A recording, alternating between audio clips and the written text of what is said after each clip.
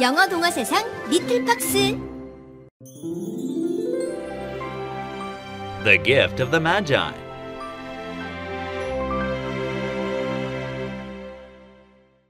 One dollar and eighty-seven cents, that was all, and sixty cents of it was in pennies. These pennies were saved by Della, bargaining with the grocer and butcher until she blushed. Three times a day Della counted it. One dollar and eighty-seven cents, and the next day would be Christmas. There was clearly nothing to do but flop down on the shabby brown couch. Della sobbed, but eventually her sobbing subsided. She looked around at their apartment, a furnished flat for eight dollars a week. It was not exactly a pauper's flat, but it came close. There was a letter box into which no letter would go, and a doorbell that made no sound. On the door was a sign Mr. James Dillingham Young. But whenever Mr. James Dillingham Young came home, he was called Jim and hugged by Mrs. James Dillingham Young, already introduced to you as Della. Della finished crying. Tomorrow would be Christmas Day, and she only had a dollar and eighty-seven cents with which to buy Jim a present. She had been saving every penny she could for months. Twenty dollars a week doesn't go far, and living expenses had been greater than she had calculated. Della stared at herself in the long glass windows. Suddenly she whirled around. Her eyes were shining, but her face had lost its color in twenty seconds. Rapidly she let down her hair. Della's beautiful hair rippled and shined like a cascade of brown waters. It reached below her knee. Della had an idea. Maybe she could afford a Christmas present. Now, there were two things that Jim and Della Dillingham Young adored. One was Jim's gold watch that had been his father's and his grandfather's. The other was Della's hair. Della put her hair up quickly and nervously. She put on her old brown jacket and her old brown hat.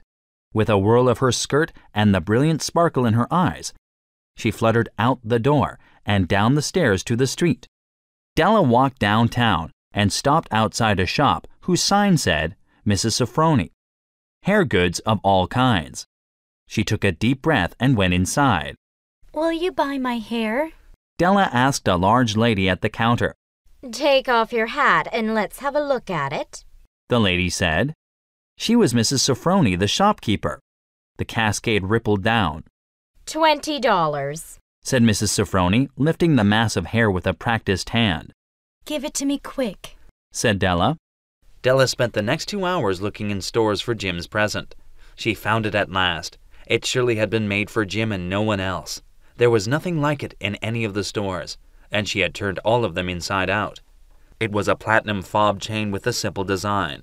It was not gaudy or too ornamental, but its simplicity and style demonstrated its quality.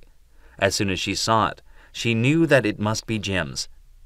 Twenty-one dollars it cost, and she hurried home with the eighty-seven cents. With the fob chain on his watch, Jim could check the time in anyone's company. Grand as the watch was, sometimes Jim checked it secretly because he was ashamed of the old leather strap that he used in the place of a chain. When Della reached home, she got out her curling irons, lit the gas, and went to work on her now very short hair. Within forty minutes, her head was covered with tiny, close lying curls that made her look like a schoolboy. She looked at her reflection in the mirror carefully and critically. Jim will say I look like a Coney Island chorus girl, but what could I do? What could I buy with a dollar and eighty-seven cents? At seven o'clock, the coffee was made and the frying pan was on the back of the stove and ready to cook the chops. Jim was never late. Della doubled the fob chain in her hand and sat on the corner of the table near the door that he always entered. Then Della heard Jim's steps on the stairs. She turned white for a moment. Della had a habit of saying a little silent prayer about the simplest everyday things. Now she whispered, Please, God, make him think that I am still pretty. The door opened, and Jim stepped in and closed it. He looked thin and serious. Poor fellow, he was only twenty-two. He needed a new overcoat, and he had no gloves. Jim's eyes fixed upon Della, and there was an expression in them she could not read, and it terrified her. It was not anger, nor surprise, nor disapproval, nor horror, nor any of the sentiments she had been prepared for. He simply stared at her with a peculiar expression on his face. Della jumped off the table and went to him. Jim, darling, she cried. Don't look at me that way. I cut my hair off because I couldn't have lived through another Christmas without giving you a present. It will grow again. You don't mind, do you? Say Merry Christmas, Jim, and let's be happy. Jim's strange expression had not changed. Della pleaded with him. Come on, Jim, I bought you such a beautiful gift. You've cut off your hair, said Jim slowly, as if it was taking him a long time to understand this simple fact. I cut it off and sold it, but I'm still the same without my hair. Where do you say your hair is gone? he said. I told you I sold it. Jim suddenly blinked his eyes and shook his head. Then he drew a package from his overcoat pocket and threw it upon the table. Don't make any mistake, Dell, Jim said. There's no way I can love you any less. No haircut or shampoo can change the way I feel about you. But if you unwrap that package, you'll see why I've been acting strange these past five minutes. Dell's nimble fingers tore at the string and paper. There was an ecstatic scream of joy, and then there was a wailing of tears. Upon the table, there was a set of hair combs, beautiful combs made from real tortoise shells, with jewels on the rims. Just the shade to wear in her non existent hair. Dell knew they were expensive hair combs.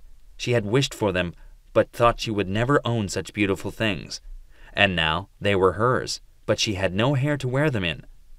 But she hugged them to her chest, and she looked up with a smile and said, My hair grows so fast, Jim. Jim had not yet seen his beautiful present. Della held out the fob chain eagerly upon her open palm. Isn't it smart, Jim?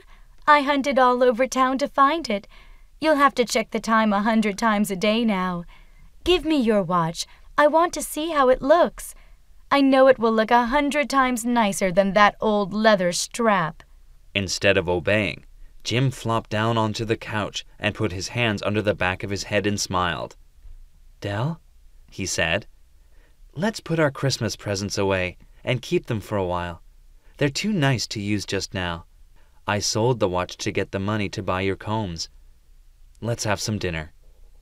The Magi were the three wise men who brought valuable gifts to baby Jesus in the manger. Perhaps the Magi were the first people to ever give Christmas presents. In this story, Christmas gifts were very important. Della and Jim loved each other so much that they were willing to sacrifice the greatest treasures in their house Della's hair and Jim's watch. They didn't have a lot of money, but they had a lot of love. Perhaps they were foolish, but Della and Jim understood about special gifts and could enjoy Christmas together. The Ransom of Red Chief, Part 1. It looked like a good plan at the time. We were down south in Alabama, Bill Driscoll and me, when a kidnapping idea struck us. Afterward, Bill called the plan temporary insanity. There was a town as flat as a flapjack, and it was called Summit, of course. A bunch of country hicks lived there, unremarkable folks, as harmless as they were full of themselves. Bill and I had about $600, and we needed 2000 more to pull off a sweet get rich quick scheme. With that money, we were going to sell some land out in western Illinois. Of course, it wasn't our land to sell, but that was the beauty of it. A kidnapping job could work perfectly in this town, said Bill as we talked on the steps of the Summit Hotel. In a big city, the newspapers would get a hold of it and stir things up with nosy reporters. But out here, Sam, there's nothing but philoprogenitiveness for miles. Philo what? I asked. Philoprogenitiveness, he said. I looked at him like he was crazy. It means loving one's children, he said. Parents here will do anything for their kids. And with Summit being such a small town, the law can't come after us with anything better than an old sheriff and his dog. Hmm, sounds good, I said. We selected our victim, the only child of a well known citizen named Ebenezer Dorset. The father was a banker, respectable but tight with his wallet. He's a stern, decent type, said Bill the kind that goes to church every Sunday and passes the collection plate. Without adding to it, of course. I shrugged. At least he doesn't subtract from it. right, you are. So that means he has money, laughed Bill. The banker's son was a boy of ten, with dark freckles and hair the color of red pepper. It wouldn't take much for a rich old Ebenezer to melt down and pay a ransom of $2,000. That's what we figured, anyway. Two miles from Summit, there was a little mountain covered with shrubby cedar, which had a cave on one side. We secretly stored food and other items we'd need for the kidnapping in there. As soon as we were ready, we drove in a rented buggy past old Dorset's house one evening just after sundown. The banker's kid was outside throwing rocks at a neighbor's kitten. Hey, little boy, said Bill, smiling sweetly. Want some candy and a nice buggy ride? Suddenly, the boy caught Bill neatly in the eye with a piece of brick. Ow! That'll cost the old man an extra $500, muttered Bill, getting out of the buggy. The boy wrestled like an angry bear, so we held him down in the bottom of the buggy and drove away quickly. We got to the cave, and I hitched the horse to a tree. After dark, I drove back to Summit, returned the rented buggy, and walked back to the mountain.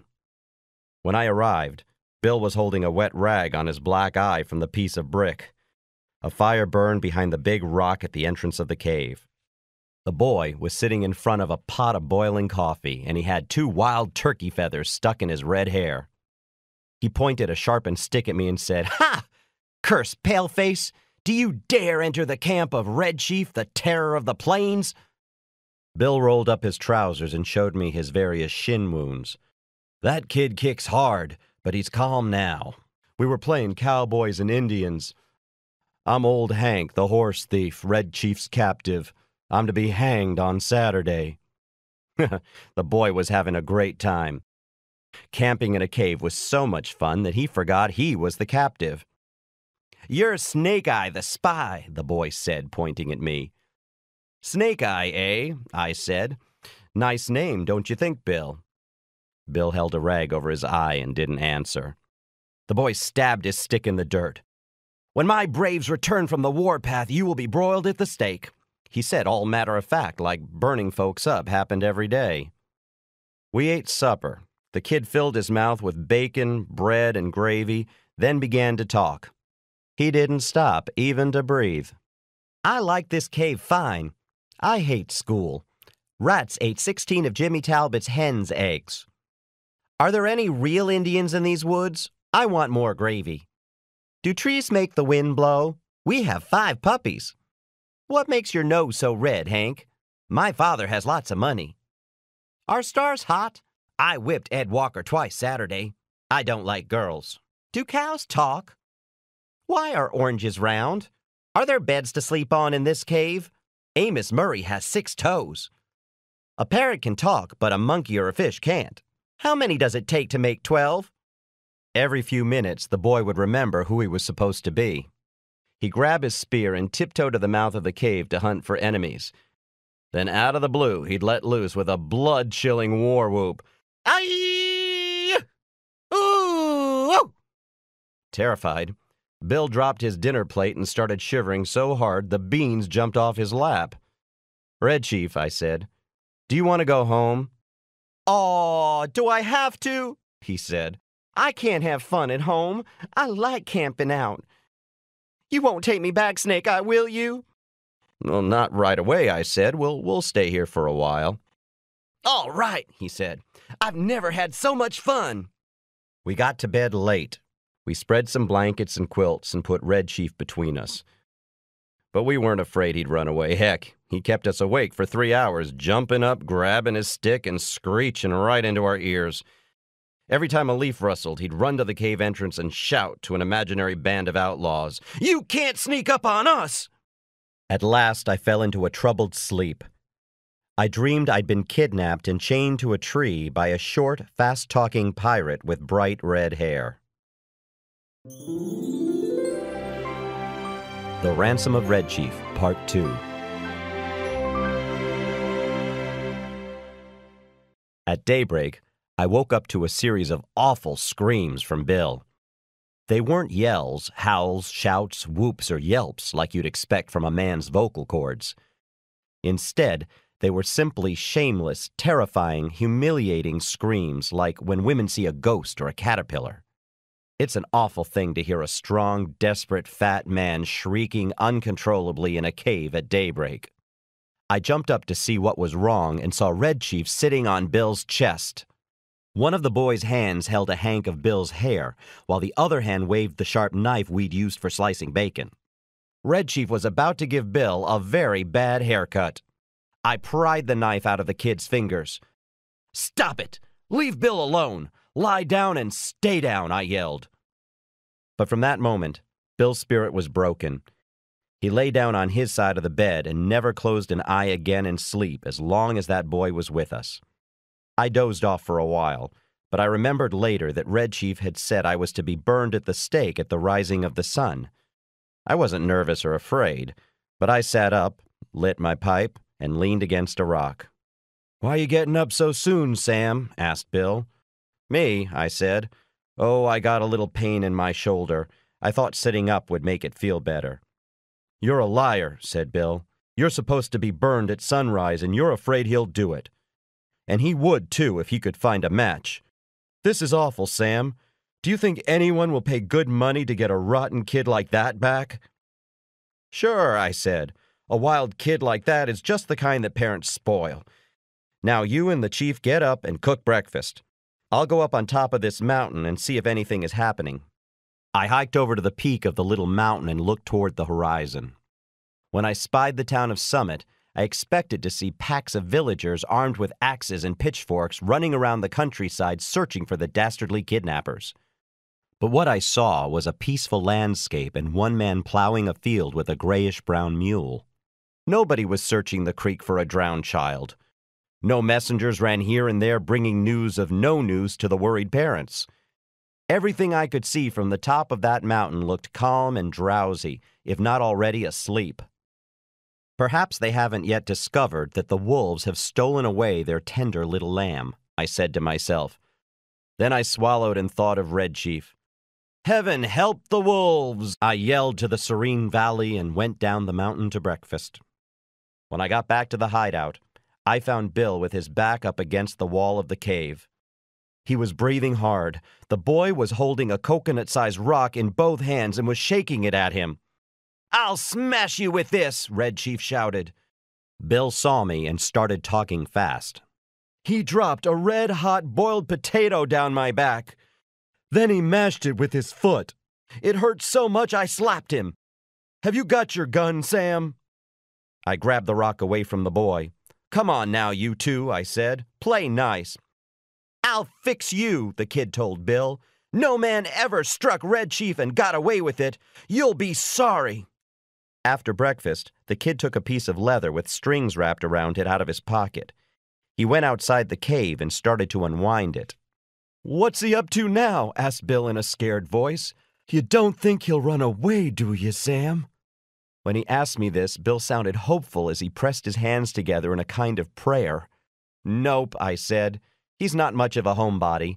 We've got to think up some plan about the ransom. There's no excitement around Summit about the boy's disappearance, but maybe they haven't realized that he's gone yet. His folks may think he's spending the night with an aunt or one of his neighbors. Anyhow, he'll be missed today. Tonight, we've got to get a message to his father demanding the $2,000 for his return. Just then, we heard a different kind of war whoop, like David might have shouted when he knocked out Goliath in ancient times. Ooh! Whoa, whoa, whoa, whoa, whoa, whoa! He's got a sling, I yelled. Look out! Red Chief started whirling the weapon around his head, and I ducked in time, but Bill didn't. Then I heard a heavy thud, and Bill screamed like he'd been shot through the head with an arrow. A smooth black rock the size of an egg had caught Bill just behind his left ear. He wobbled, lost his balance, and then fell across the pan of hot water on the fire that had been used for washing the dishes. I dragged him out and poured cool water on his head for half an hour. Finally, Bill sat up and felt behind his ear. He asked, Sam, did you ever learn the Ten Commandments when you were a kid? Yeah, sure, I said. Do you remember the sixth one? he asked. I took a wild guess. Do not kill? I thought of an exception, Bill said. You'll feel better soon, I said. Bill grabbed my hand. You won't go away and leave me here alone, will you, Sam? I went out and caught that boy and shook him until his freckles rattled.